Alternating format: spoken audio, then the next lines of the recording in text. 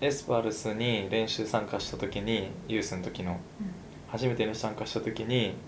ここだって思ったんですよ本当に。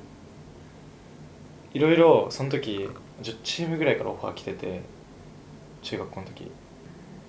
1日目練習だったんですけど2日目練習試合で相手がジュビロでめちゃくちゃ調子よくてそのその日。結構自分の中でも手応えあってもういろんなとこから来ててめちゃくちゃ悩んでたのにその場で「いや行きます」って言っちゃって、へはいえすごい覚えてるんですけど「やばい言っちゃった」みたいな。直感的な何かが。そうなんですよね。多分本当に直感的な感じでここだと思って居心地の良さが一番だったかもでもあの時は。優しいし全員先輩たち。プレーしやすいしっていうのが一番だっただからそういうのもあってでも3年間過ごしてその気持ちは変わることなかったし嫌いになったことも一度もなかったしでましてやトップチームのあの試合の応援とかもいこうユースはよく行ったりするんですけど行ってああいうさなんていうんですかねサポーターの大声援とか聞いてこうその愛さのピッチでプレーしてる選手がかっこよかったしいつしかここで絶対やりたいなっていうのが目標に変わったんでそれですね多分。トップチームに上がれなかった理由がなんとなく自分の中で明確明確ではないけど、なんとなく分かってたからこれ足りないところを龍慶行ったら補えるんじゃないかと思って、うん。こうもう技術はユエスパユース3年間でもう培ったからここはもういいやって思って。でじゃあ何が足りないんだろうと思った時にそのアグレッシブさとか守備とかそういう強度とかそこがないんじゃないかなと思ってじゃあ龍慶行ったらそれそれ身についたら相当強くなるんじゃないかなと思って。でっていうのを想像したらちょっと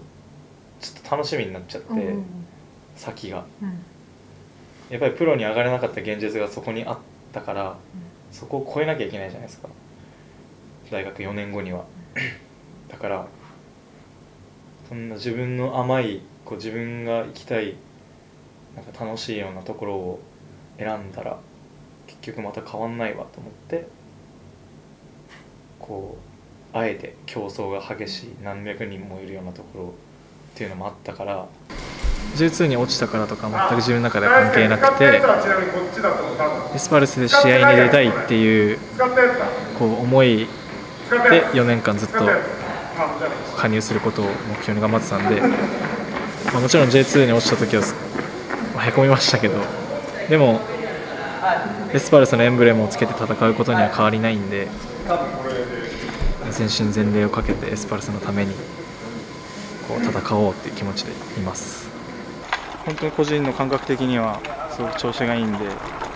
調子いいし自分の持ち味とかもあの出せるようになってきたし今日とかもすごく良、えーかったんでしたたかにあの本当に狙っていくあのやっぱり若手だろうがなんだろうが関係ないと思うからそこでずっと出てた選手をあれそそっちよりセナのがいいんじゃないかと思わせられるような選手になりたいんで、まあ、残りあと少しかなと思うんですけどあの気を引き締めて狙っていきたいと思ってます。相当悔しいですね。あのかなり調子が良かったのであの本当開幕までのシーズンキャンプ終えて、まあ、キャンプからぐらいずっと調子が良かったのでまあそうですね。あとはやっぱり同期がデビューしたりとかあのベンチ入ったりとか っていう姿を見てもちろん自分が最初にっていう思いで入ってきたんで、まあ、そこを越されてるのはすごく悔しい。一番悔しいかもしれないです。チームでですけどライバルじゃないですか。言ったらポジションは違えど。だからまあ森重がデビューしたりとかそれも悔しいし。うん、自分が出たらもっとやれる自信はあるから。早くって感じ早く早くって感じですけど。出たい出たい。出たくてたまらない。マジで。楽しかったっすあれ。相当。スーツでね。革靴で。最悪っすよ最悪なんだよ。めちゃくちゃ悔しかったあれ。あの光景。をてかあれがめっちゃ悔しい。マジでそれがめっちゃ悔しかったですね。それがっていうか。で毎回ホームスタジアム行くとマジで悔しい。でもそれだけ一番立ちたい場所でもある。立ちたいっすよあそこは。だって小さい頃からの夢ですもん俺はまだだからまだ夢のままなんですよ。それがすごく。相当あのアイスタでのあのピッチは奮い立たせるものがあるんだろうなって。すごく感じます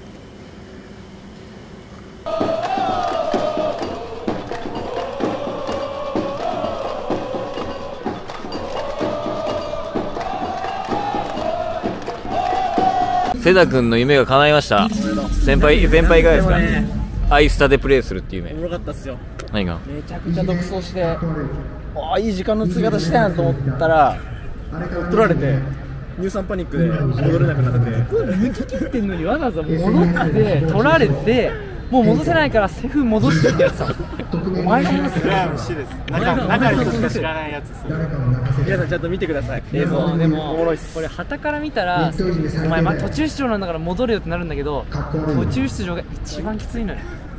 これはやらないとわからないと。思う本当に。途中出場のきつさは尋常じゃない。でもどうでした？いやマジで入って多分ゴールキックあっちの方からスタートだったんですけど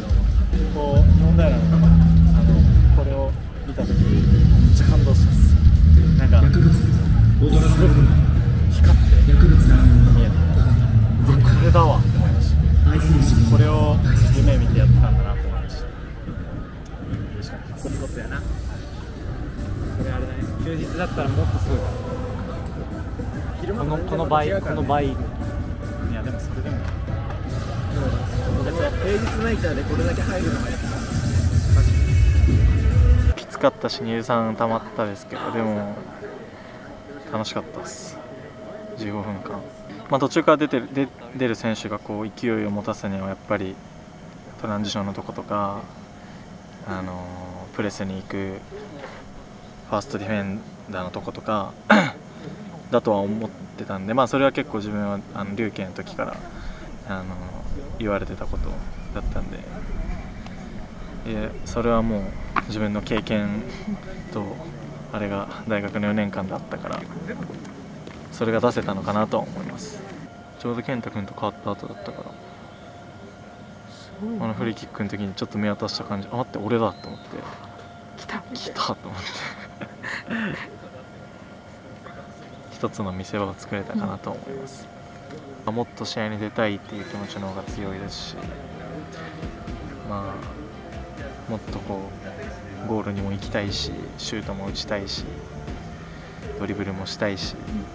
そういう欲の方がやっぱり強く感じました。でもやっぱりここのアイスタでプレーして活躍したいなって思いは一層強くなってたんでこれからもっと、えーまあ、あの景色がね